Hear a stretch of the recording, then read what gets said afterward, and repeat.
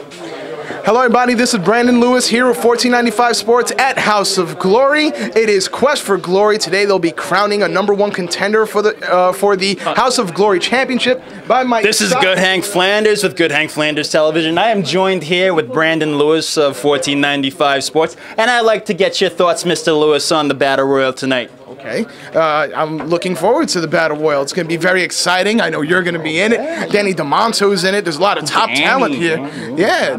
Top top. You know, I'm the top, the toppest of the top, You're the toppest of the top? toppest of the top.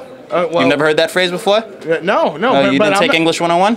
Well, I'm not going to argue that point. Oh You yeah, okay, okay, okay. Now, now it's time for you to be quiet, sir. Okay.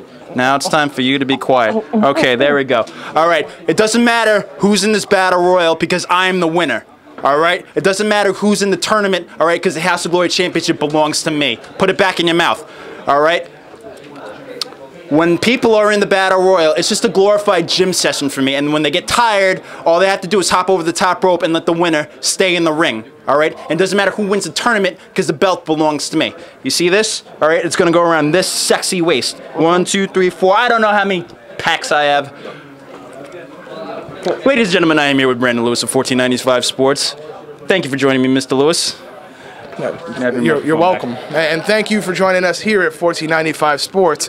Good Hank Flanders, House of Glory, Quest for Hank Glory. Flanders show. Good Hank Flanders show. It's a good Hank Flanders show. Yeah.